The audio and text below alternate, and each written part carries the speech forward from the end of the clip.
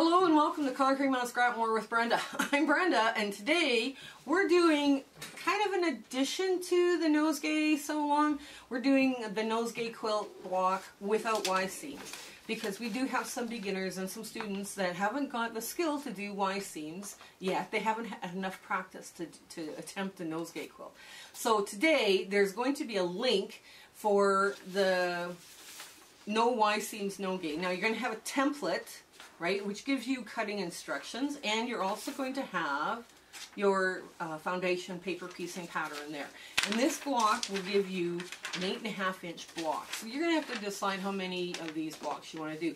I would suggest if you're a really beginner that you do one block first. And if that block is too hard for you or you're just, oh my gosh, what did I get sign myself up for? Now you haven't cut like 30 some odd blocks ahead and you've got to, you've got to muscle through it. So, but yeah, the other person I want to talk to you about is Revelation Quilts. Suze at Revelation Quilts does a lot of fun and interesting stuff. And her channel's got an interesting twist. So when you go check her out, tell her Brenda sent you from our channel here to her. Um, now we are going to cover Y seams in the other video, so don't worry about that. If you're, it doesn't matter which one you want to do, but eight and a half is your, your target. So come on in, we got lots of sewing to do today. Okay, now this pattern you're going to find in the show notes below for the patchwork portion of this. Now I didn't, I'm not showing you the foundation paper piecing ones yet, but I will. Uh, they're just a little different, and again, in some of my patterns, I have these little lines on the foundation paper piecing where you cut right through. So basically this one goes a full, like if the line goes right past the, the seam allowance, you cut this and you cut this, right? And the same with these other two, right? So that you, instead of giving you three separate pieces, each with a seam allowance, you know you have to leave like a quarter inch over on both sides of, of this because that you're right at where you would stitch, right? So that's the way I do my, my patterns. I'm trying to be economical with your printing paper as well as my own.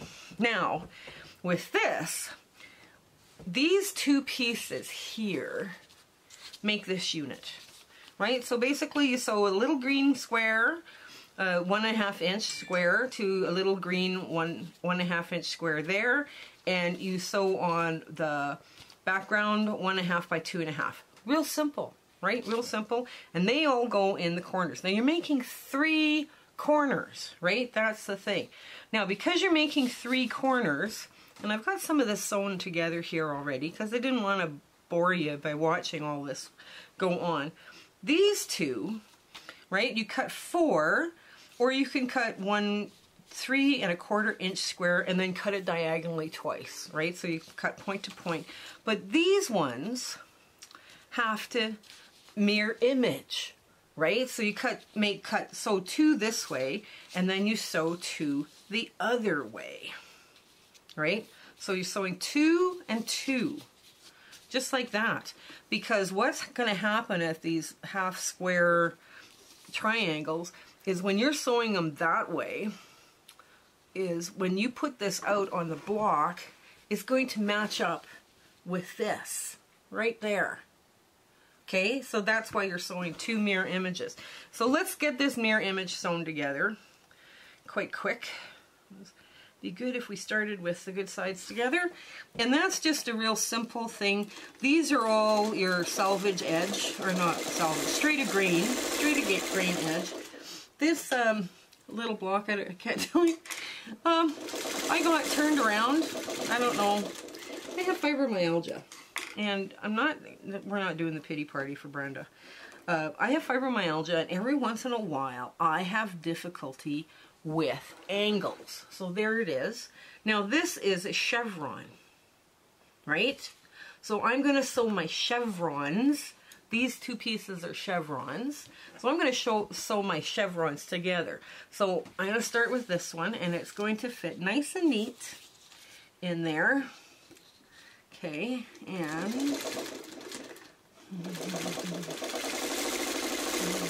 yeah, I got turned around. I suddenly I was just like, wait a minute, that doesn't look right. That does not look right. No, no, no. and put this one in together. And we'll take that out. And we don't. Once once you, you get yourself turned around, I find sometime with my fibromyalgia, once I get myself turned around, I'm done. I'm pretty much, oh dear, what have I done? Kind of a moment. So I am just going to get the other half of the chevron.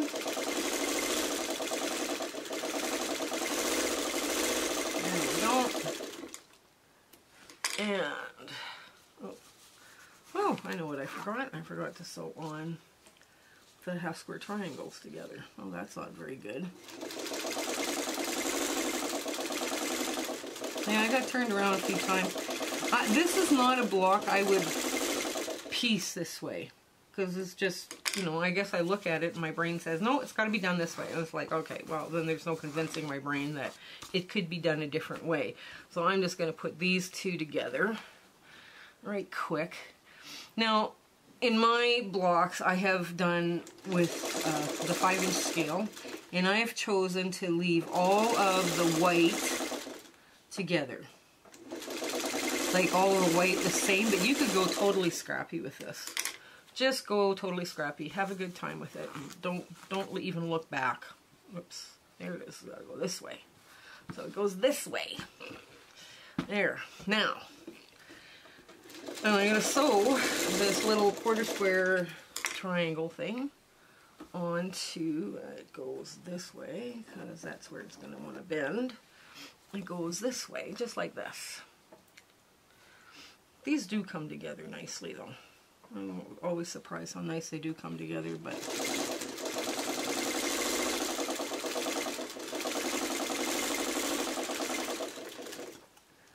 Okay.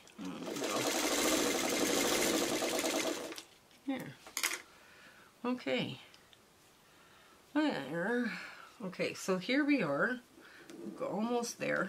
And then we're going to start sewing the chevrons to the little square pieces here, right? So here, I'm going to go, just before I do that, you know, I see something wrong, I'm going to fix it right now. Before I go too much further, because this triangle, I cut too short. Again, I cut too short. Oh my dear. And I can't find my stitch ripper. So, okay. Well, if I can't find my stitch ripper, this is what we're going to do. well, where did, oh, there it is. I see it. So, yeah, I just, I don't know why I'm having problems today. Anyways, my fibromyalgia kicks in when I'm stressed out or I'm overtired or, you know, I have a number of things why it kicks in. And some days, it shouldn't be answering people on the Facebook group. I should just let it sit for a bit. And other days, I like I go, okay, I'm feeling not too bad, and then they say something, and it's just like, well, that's not what I meant to say. For instance, I don't say welcome aboard anymore because I keep twisting around the numbers or the letters in welcome aboard. So I'm just going to fix this by putting a bigger piece here. Just like that. That was an easy fix. And making it work. Now that white piece I just added onto this block is way too big, but it'll work. It'll work. I'll trim it later. So now I'm just going to push these and I want them to kind of nest a bit, or try to get them to nest a bit. I pulled all of this stuff out of my crumbs, by the way, because I figured it would be good to do, empty out, take out a few things out of my crumbs.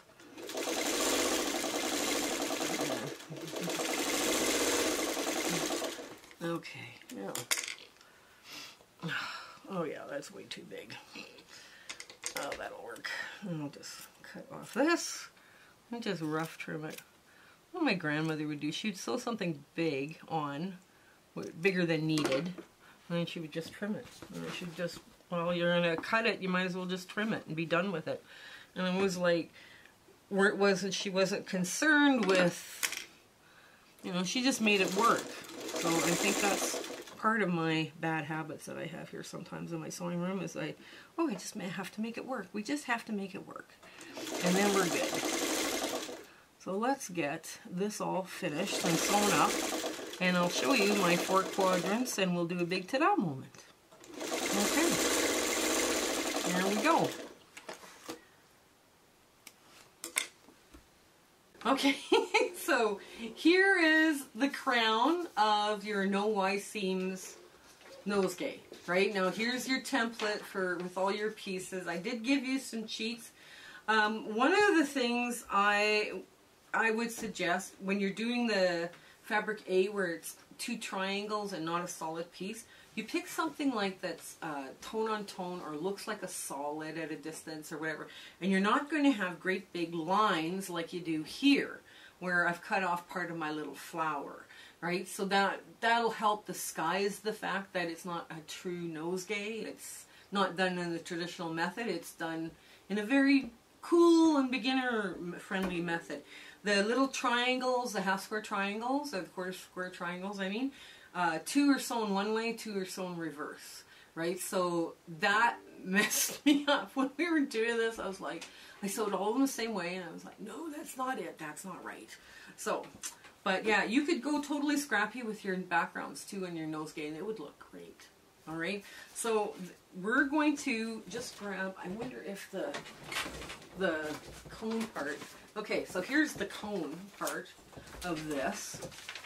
And the cone part would just fit in like that.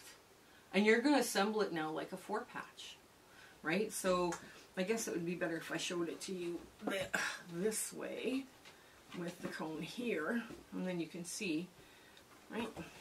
So that's what it's going to look like when it's all done, right? When you put, when you sew them together now, it's just a four patch. And the same with the foundation paper piecing. It's just going to be a simple little four patch that you're, oops, that you're doing this with. Sorry. okay, I hope you have an awesome week ahead. Okay, you take care. Bye. My husband and I would love to thank you for coming along with us on our little fun adventure here that we're having.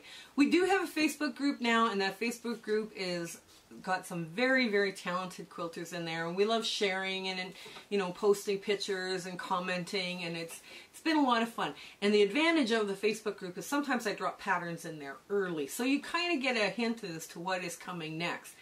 After the nosegay sew along, we're going to be doing curves boot camp right away. So we'll get you sewing those curves and it'll be fun. It'll be a lot of, it'll be a lot of interesting little blocks that we've got to work on. But we would like you to share, like, and subscribe. Telling your friends about us and, and letting them know that you kind of like our channel, that, that means so much to us here. So you take care. You have a fabulous week ahead. Okay, bye.